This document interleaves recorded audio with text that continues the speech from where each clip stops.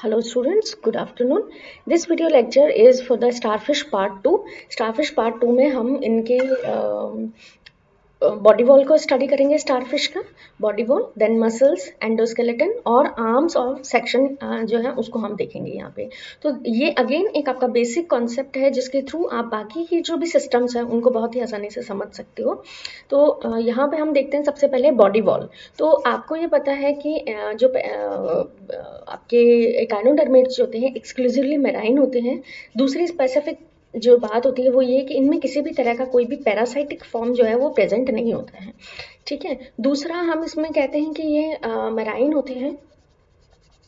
लेकिन ये बहुत सारे एनिमल्स को भी सपोर्ट करते हैं यानी सिम्बायोटिक रिलेशनशिप को भी ये देखते हैं दिख, आ, को भी ये परफॉर्म करते हैं। तो इस तरह की जो सारी इनकी लिमिटेशंस हैं या सारे इनका जो एक ब्रॉड एरिया है इनका लिविंग का उस सबको सेटिस्फाइड करने के लिए इनमें हर एक ऑर्गन में आपको मॉडिफिकेशंस देखने को मिलते हैं। तो सबसे ज़्यादा जो मॉडिफिकेशंस होता है वो एक्चुअल में स्किन में प्रेजेंट रहता है।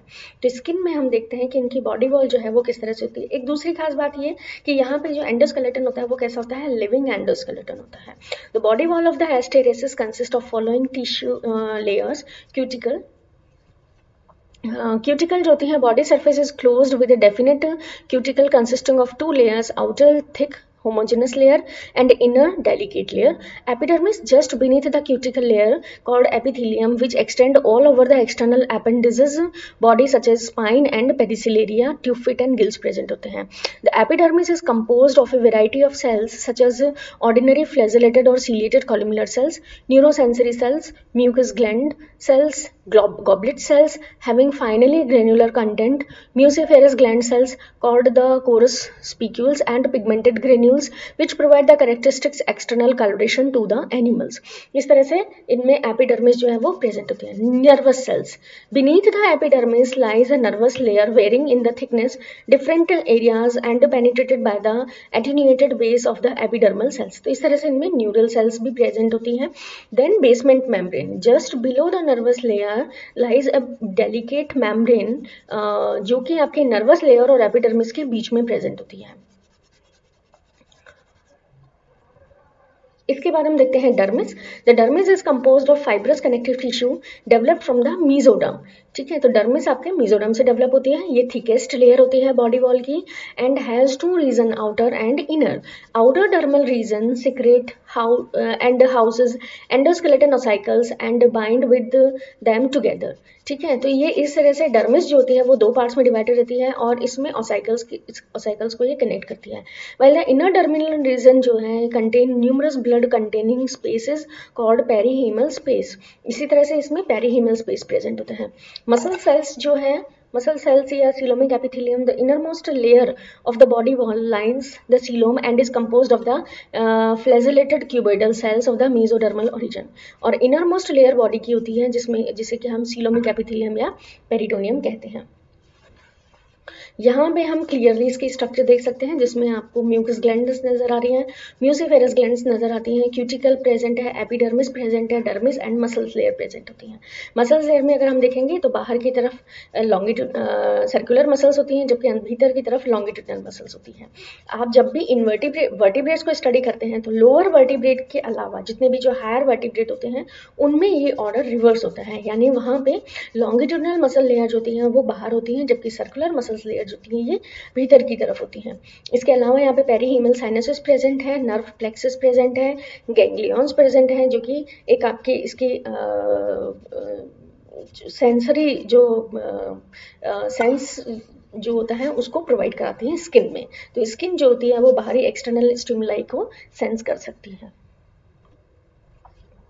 इसके बाद में हम देखते हैं एंडोस्केलेटन तो rigidity of the body of asterias due to presence of definite skeleton in asterias endoskeleton is unique is being mesodermal in origin instead of ectodermal in other invertebrates तो हम दूसरे इन्वर्टिब्रेट्स में देखते हैं तो वो एक्टोडर्मल होता है, जबकि यहाँ पे कैसा होता है? मीजोडर्मल होता है. इस consist of numerous calcareous ossicles present होते हैं. Ossicles are of various shape and are bound together by the connective tissues तो ये सभी जो ऑसाइकल्स होते हैं, ये कनेक्टिव टिश्यूज से बाइंड रहते हैं. They form a reticular skeleton leaving space from the emergence of the group of papillae. इसके बाद हम देखते हैं they form the reticular skeleton leaving space from the emergence of the group of papillae the ossicles have irregular arrangement on the aboral surface, but have definite and regular arrangement on the oral surface. On the oral surface, they are regularly abound by the mouth and तो ossicles जो होते हैं, ये यहाँ पे present होते हैं. Five plate like ossicles called oral ossicle and aboral cycle दो तरह के ओसाइकल्स प्रेजेंट होते हैं. Each ambulacral groove is supported by the double rows large transversely placed ossicles तो ओसाइकल जो होते हैं, ये बेसिकली इनके एंडोस्केलेटन के फॉर्म में प्रेजेंट होते हैं और इनके अलग अलग मॉडिफिकेशंस होते हैं oral surface and aboral surface के कंसर्न में। Further each ambulacral ossicle has a notch on is outer surface and inner margin the two notches of the adjacent ossicles together form an oval aperture ambulacral pore of the passes of the tube feet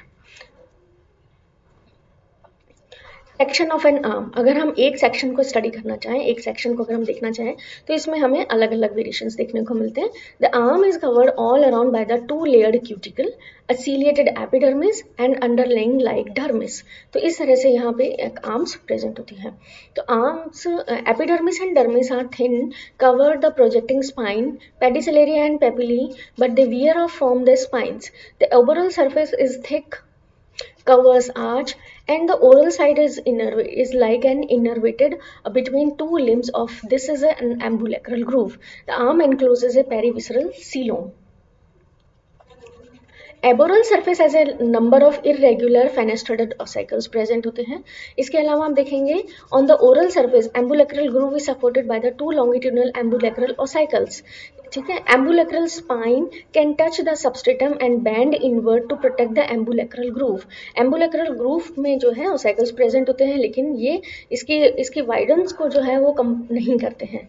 ठीक है? Below the radial canal is a radial hyponeural sinus enclosing the radial haemal canal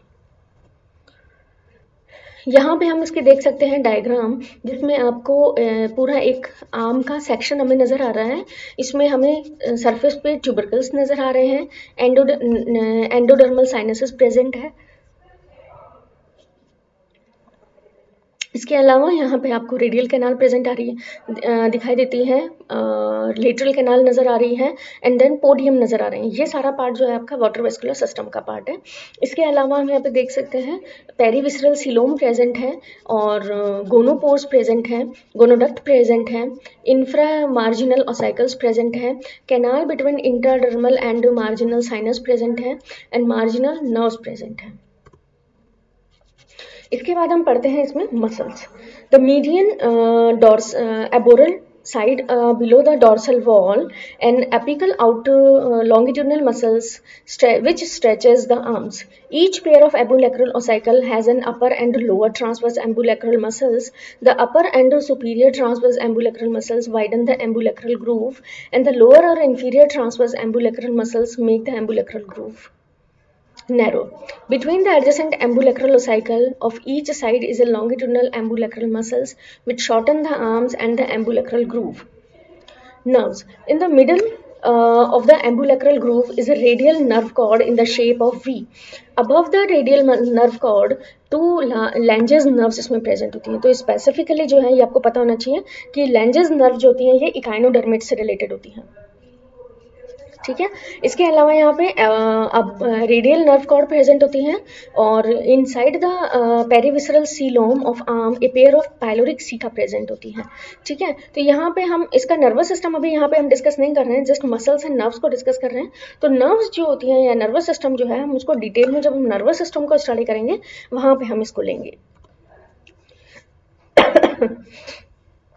यहाँ पे आप इसका diagram में देख सकते हैं एक्सेल ऑर्गन आपको नज़र आ रहा है स्टोन केनाल नज़र आ रही है and then perihaemal ring present है पेरीब्रिंकल साइनस प्रेजेंट है पेपिली प्रेजेंट है।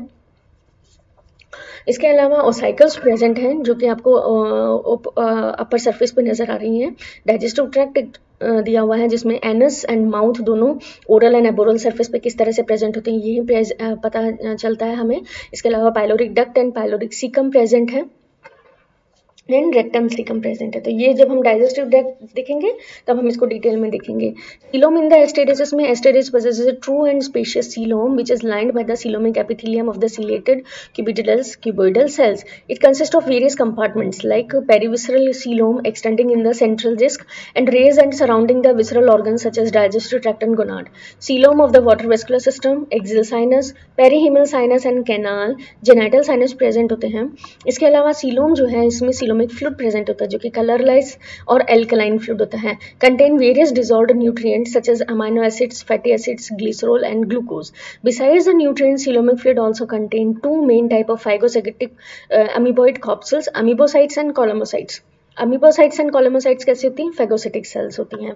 तो जो भी वाटर के थ्रू जो भी इसमें एंटर करता है, उसको ये इंगल्फ करते हैं। Coelomic fluid like haemolymph of the Arthropoda bath the tissue of the body and perform the function of circulatory system तो यहाँ पे हम कह सकते हैं कि सर्कुलेटरी सिस्टम किस तरह का है? ओपन टाइप का है, जिसमें कि ब्लड जो है, जो ऑर्गन्स होते हैं, वो ब्लड में डिप्ड रहते हैं। ठीक है तो वहीं पर इनका सर्कुलेशन हो जाता है और इसी तरह से इनमें uh, रेस्पायरेशन भी प्रेजेंट होता है। Coelomic fluid like the haemolymph of arthropods bath is the tissue of the body and perform the function of circulation